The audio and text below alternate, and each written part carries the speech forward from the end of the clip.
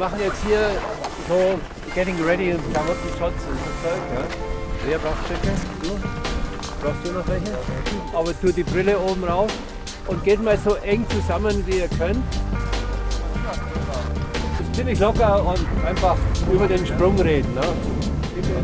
Ich glaube, mit dem Elternwerden kommt auch eine äh, gewisse Dankbarkeit immer mehr zum Ausdruck, äh, je mehr Erinnerungen man hat. Ja. Was haben wir schon unglaubliche Sachen erlebt? Action! Mein Vater war ein Top-Sportler in der nordischen Kombination und hat aber schon ein Geschäft gehabt in München. Das ganz junger Mann, der war 20. Die Kombination meiner Eltern war fantastisch. Der Aktivsport und die Ästhetik kam zusammen. Willy Bogner, der Name klang wunderbar. Und das war der Inbegriff der Olympischen Spiele 1936.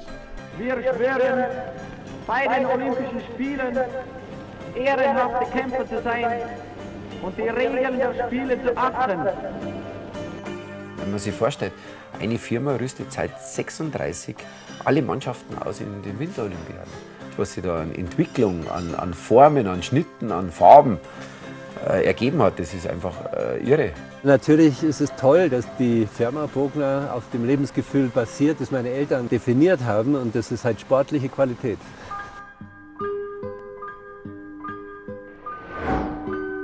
Bis wir sechs waren, waren wir in Weichsee, Tirol. Da haben wir nicht sehr viel mitgekriegt vom Krieg. Es war wunderschön. Mein Vater, der ging fischen und hat die ganzen Forellen ausgetauscht gegen einen wunderschönen Stoff. Und da konnte man schon Mäntel machen. Wir hatten auch ein Manneke, das wurde dann sehr mit Bogner verbunden, die Elfi. Und sonst, es gab keine professionellen Modelle.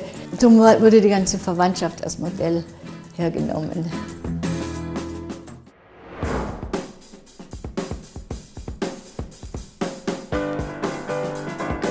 Das war eine geniale Idee meiner Mutter, als diese elastischen Stoffe erfunden wurden, die auch warm waren. Das hat einem ermöglicht, näher an den Körper zu schneidern. Und die haben wirklich ganz toll das hingekriegt, dass eben gerade die Frauen in diesen engen Hosen so toll und sexy aussahen. Und das war damals schon was Besonderes. Da war ich noch ein Bub. Da habe ich schon gewusst, Bogner, das ist der Rolls-Royce unter den Winterbekleidungen. Und meine Eltern haben dann echt die, die Farbe reingebracht. Die gab es dann gelb und pink und so weiter. Und gerade die Amerikaner hat das äh, sehr beeindruckt. Es, es ist schon toll, wenn ein Name für eine ganze, einen ganzen Begriff steht, für die Gattung Keilhosen. Ja. Zu dieser Zeit haben mir die Miniröcke mehr Eindruck gemacht als die Keilhosen. Eine neue, absolute, beste Zwischenzeit wird gemeldet von Nummer 25, Willi Bogner, Westdeutschland. Dass man das klassische Lauberhahnrennen mal gewinnt, ist sensationell. Aber gerade das als 17-Jähriger schon zu schaffen, das war für mich natürlich der Durchbruch in die Weltspitze. Willi und ich sind ja die einzigen Deutschen, die das Lauberhornrennen gewonnen haben. Ich freue es natürlich sehr, dass der Markus Wagmeier das dann auch. ich muss ihm leider immer sagen, er hat ja die verkürzte Opfer gefahren. Da hat er recht, aber gerade bei dem Nebel und bei dem Schneetreiben, wie wir es gefahren sind, heute hätten wir das abgesagt. 24 Lustig ist ja schon, dass der Willi für die Hälfte der Strecke genauso viel Zeit brauchte wie der Wasmeier für die ganze Strecke. Also mein Vater hat zu meinem Sieg natürlich einen guten bayerischen Ausdruck gebraucht, er hat gesagt, du Hundling. Für alle Journalisten unbegreifbar. Und haben gesagt, wo der man denn den hin? Kennt ja keine Seele. Dann habe ich gesagt, den werden Sie gleich kennenlernen. Ein paar Wochen später war er am Start für den Olympischen Slalom in Squaw Valley. Wir haben noch die eigenen Ski gewechselt. Er hat mir auch Tipps gegeben zum Wachstum und so, weil der hat es schon ein bisschen länger gemacht. Mit dem er hingegangen ja. Oh. die Kanten zeigen, ja, das war eine große Kunst. Aber wir hatten wenigstens keine Ausrede gehabt. Ja, Wenn wir verwachselt haben, waren wir selber schuld. Ja. Es wird ernst. Willi Bogner, die Hoffnung der Deutschen. Der 18 Jahre alte Gymnasiast legt einen herrlichen Lauf hin. Bogner führt mit einer Sekunde Vorsprung. Dann fällt die Entscheidung. Noch scheint alles gut zu gehen.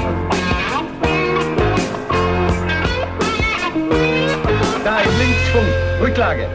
Ja, der Lucky Leitner, wenn ich auch äh, die richtigen Ausdrücke gefunden, hat mir dann gesagt nach dem Sturz, du Aff, du Blöder. Aber Willi Bogner gibt nicht auf, obwohl er weiß, dass alle Medaillenaussichten verloren sind. Das Wichtigste für mich, was ich in meiner Sportlerlaufbahn gelernt habe, ist, dass man mit Niederlagen umgeht. Weil man verliert ja viel öfters, als man gewinnt. Ja? Aber man, man denkt immer, aha, da kommt ein neues Rennen, dann fängt es wieder von Null an. Und die Einstellung, die ist halt für alle wichtig, auch im Leben sonst oder im Unternehmen, dass man sich von Rückschlägen einfach nicht entmutigen lässt. Also ich fand damals, der kann nicht gewinnen. Das muss er nicht. Die Madel hätten immer gewusst, wo der Bartel einen Most holt. Bogner trägt die Niederlage mit Fassung. Aber ich war 18 und habe gedacht, euch kriege ich schon einmal. Kommen ja noch mehr Spiele. Es hat dann leider nicht mehr so geklappt, aber immerhin hast du schon mal die Weltspitze um eine Sekunde abgehängt. Der Willi hatte den Zugang zu den Athleten mit seiner eigenen Kamera. Er wusste, ich habe die Kamera dabei und gesagt, wenn ihr mir die Filme bezahlt, weil die waren damals teuer, dann filme ich für euch. Und ich habe ihm freie Hand gelassen. Ich habe ihm nichts diktiert, sondern ich habe nur gesagt, Willi, heute drauf. Der Harry Valerian hat mir die erste Chance beim Fernsehen gegeben. Das ist das Größte, wenn ein Film im Fernsehen läuft. Wie man einen Film vertont oder schneidet. Ja, das habe ich dann erst im Fernsehen dazugelernt, weil ich war ja nie in irgendeiner Filmschule. Das Leben hat es mir beigebracht. Aber das Filmische hat er dann von sich aus weiterentwickelt. Dazu brauchte er mich gar nicht. Und mein Vater hatte eine Jagdreise in den Himalaya organisiert und ich durfte mit und habe dann einen Dokumentarfilm gemacht über diese Reise. Und dann lag es natürlich nahe, den als Vorfilm für das Kino zu versuchen zu platzieren. Und dann habe ich meinen Vater überredet, dann machen wir halt einen Kinofilm dazu. Ja, dann können wir deinen Jagdfilm eigentlich auch einem großen Publikum zeigen. Und so haben wir es dann gemacht.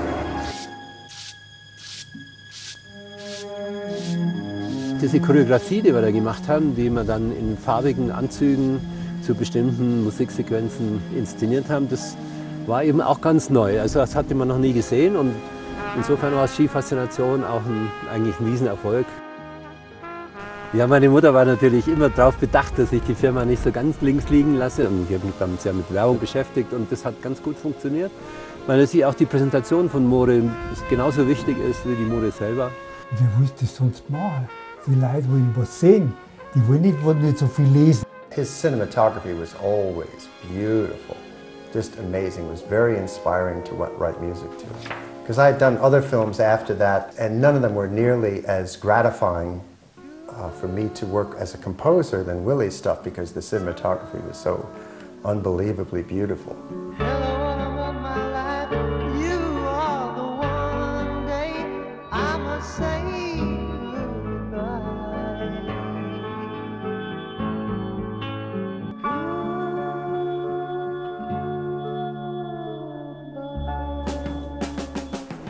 Wurde 30 und meine Mutter hat auch gedacht, so irgendwie sollte auch mal irgendwie jemand finden. Und dann kommt ich. Wer sonst? Meine Mutter hat die Sonja engagiert als Model und ich war der Fotograf.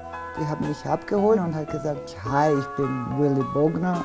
Und ich habe gesagt, I'm hungry. Und das, ich glaube, hat ihm sehr imponiert. Da haben wir Golfmode fotografiert. Habe ich noch nie gehört vom Golf. Golf, was soll das? Und man merkt auch noch heute in den Fotos, dass ich so ein bisschen mit einem Mona Lisa lächelt. Und da ist es passiert. Ja. Das war ziemlich schnell. da muss man sich vorstellen, die Sonja hat inmitten dieser Dolce Vita Nummer in Rom, High Life, in der großen Zeit, der Cinecittà Number One Clubs und der gut aussehende Italiener. Glamour. Die Konkurrenz ist da sehr stark und dann habe ich halt relativ schnell zugeschlagen. Gott sei Dank hat sie auch eingewilligt. Lass es kreien, lass uns heiraten.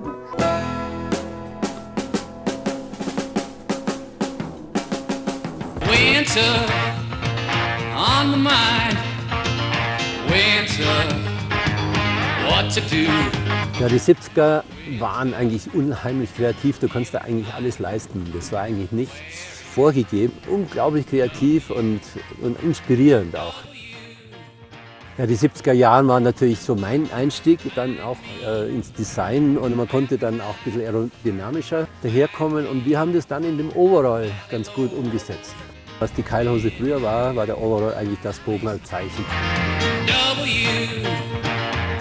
W habe ich mir mal eingebildet, ich muss was ganz Besonderes machen und habe so äh, etwas erfunden, und zwar ein kleines Kassettengerät, das man mit Kopfhörern äh, beim Skifahren tragen sollte. Habe das dann Skifi genannt und ich glaube, das war mein großer Fehler. Ich hätte es Walkman nennen sollen. Ja, von deinem Skifli, wie viel hast du davon verkauft? Fünf Stück. Genau, fünf Stück.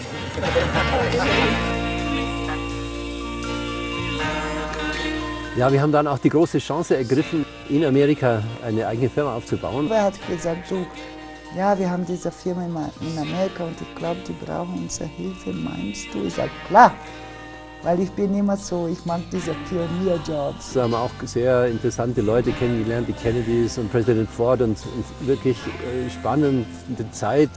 Er wollte immer Leberspätzle-Suppe. Was ist das? Ich habe in Amerika gelernt, Leberspätzle zu machen. Und dann gab es noch so einen ungeheuren Glücksfall für mich. Da ruft der Produzent der Bonn-Filme an. Da sollte ich eine Verfolgungsjagd auf Ski drehen. Da war sonst wenig unterwegs, was auf Ski mit 80 Stundenkilometern mit einer Television-Kamera drehen konnten. Ich habe natürlich sofort zugesagt. Dann dachte ich, mein Gott, geil. Mode, James Bond.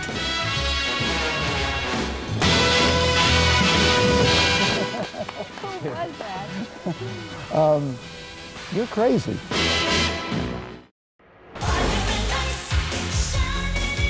Ich war damals gerade auf einem totalen Höhepunkt meiner Karriere und äh, er rief in Amerika an und fragte, ob ich Lust hätte, äh, auf ein, ein Lied zu schreiben für seinen neuen Film. Das war irgendwie ein, nur ein mein neuer Skifilm. Ja. Und ich habe erstmal gesagt, nein, ich habe leider die Zeit nicht, würde gerne. Und er hat aber nicht loslassen. Er hat immer weiter gebohrt, er hat mich ab und zu mir angerufen, wann bist denn wieder mal in München? Und ich war dann auch in München. Wir sind früher, sind wir eigentlich immer samstags in Franziskaner gegangen, hatten unseren Tisch und da sagt er, was ist ein Oxymoron, sagte der Willi. Und ich sagte, ein Oxymoron ist ein Widerspruch in sich. Gut, wir haben im Ari-Kino den, den Fire and Ice-Film gesehen. Da war damals auch, äh, äh, ich erinnere mich an, an Hubert Burda, Harry Lindmeier und ein paar seiner Freunde auch mit haben den Film gesehen. Damals ist Hubert Burda auch mit den Metaphern und allem Dingen daherkommen. Und ich sagte, ein Oxymoron ist zum Beispiel Feuer im Eis. Und dann sagt er, im Eis ist nicht gut, Feuer und Eis.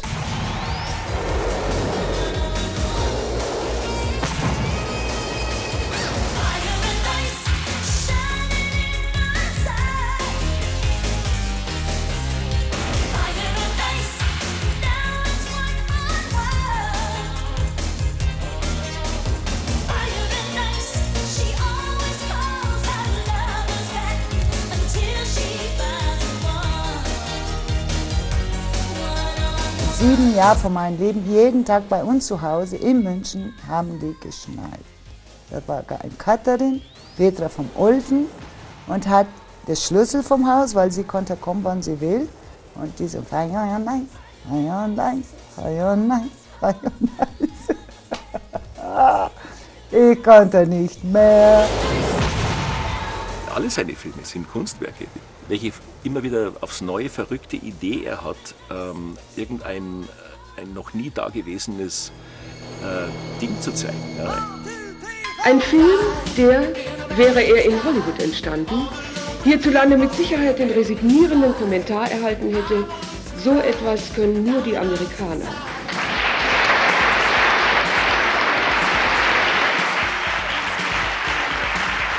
Der Bambi, glaube ich, ist eine Auszeichnung, der aus dem Amateur fast schon einen Profi macht und ich hoffe, das in meinem Film Feuer und Eis auch beweisen zu können.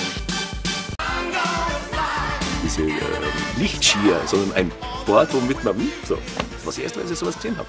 Der Willi ist ein Visionär. Er hat so Visionen von, von Sachen, die er halt sieht und, und dann halt auch umsetzt. Zum Beispiel ist es er, der wirklich den Snowboardsport extrem viel weitergebracht hat, weil er einfach den Sport so dargestellt hat auf einer großen Leinwand.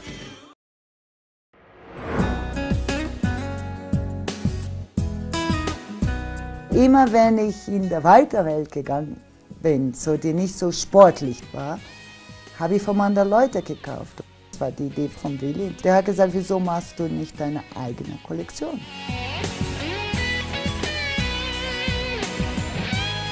Plötzlich habe ich gedacht, nein, schau mal Sonja, jetzt bist du hier in dieser Welt und Leute sitzen da und applaudieren. She has a really good intuitive sense of what things are going to be happening. Willi und Sonja Bogner den Modepreis der Landeshauptstadt München 1994 zu verleihen. In diesem Bereich gibt es ja viele synthetische Namen. Der Glücksfall eben in der Marke ist, dass da einer ist, der die Marke lebt, zusammen mit seiner Frau. Seine Sein ist so Bogner. Ist wunderschön manchmal. Manchmal sage ich, hey, wir brauchen Ferien vom Bogner.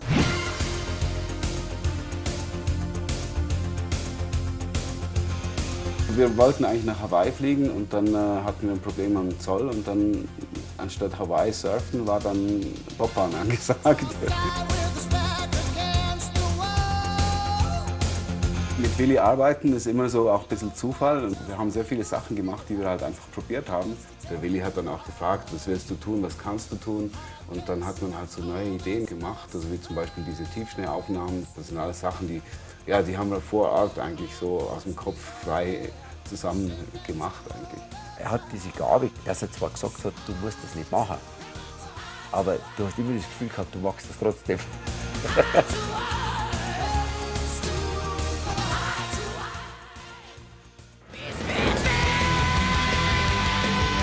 Für mich ist ja wichtig, dieses Gefühl des Skifahrens anderen näher zu bringen. Als Kameramann sucht man natürlich die Formate, die für das Thema geeignet sind. Und IMAX, das große Riesenformat, war natürlich für mein Thema Berge, kleine Menschen, große Berge, ideal. Und dann haben wir eben diese Kamera auch wohin gebracht, wo sie normalerweise nicht unterwegs ist. Action, please. Oh. Ganz feig sein ist wichtig. Feigheit ist überlebenswichtig. Ich habe zwar zuerst geglaubt, dass er von einer Staumauer bei einem Stausee da die Mauer runterklettert oder so. Aber das war ja das Brandenburger Tor mit dem B. Dass die Leute glaubten, das sei Berlin. Oh. Was ein Moment! Das Kerngeschäft, das wurde natürlich ganz geschickt von Willi über Film und Event marketingmäßig herausgebracht.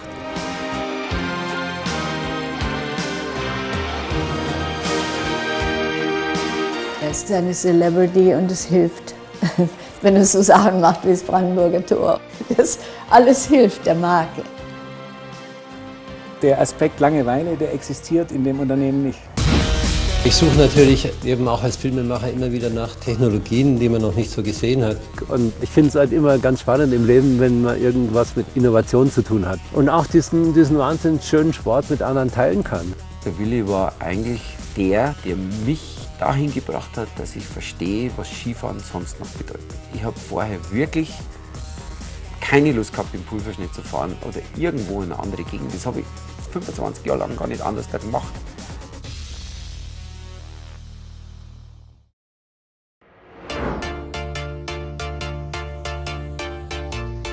Es ist sehr wichtig, dass die Marke selber für die sportliche Hochwertigkeit einfach steht und, und das jedes Jahr neu interpretiert wird. Sei es jetzt im Film, sei es jetzt in den Shops, im Design und so weiter. Und das ist inzwischen eine ziemlich klare Aussage geworden, dass sich die Leute unter dem Namen was vorstellen können.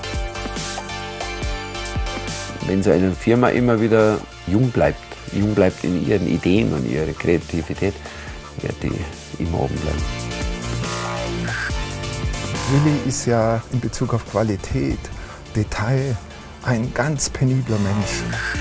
Das B steht eigentlich für besser. Willie is one of these people that will always be young because he thinks that way. Der Willi hat sich nie über andere erhaben gemacht oder erhoben. Ich hoffe, der Willi hört nicht so schnell auf. ja. Ich glaube, ich hatte wahnsinnig viel Glück und wahnsinnig schöne Momente. Wenn die Gesundheit stimmt und alles so in etwa weitergeht wie bisher, finde ich das ganz toll.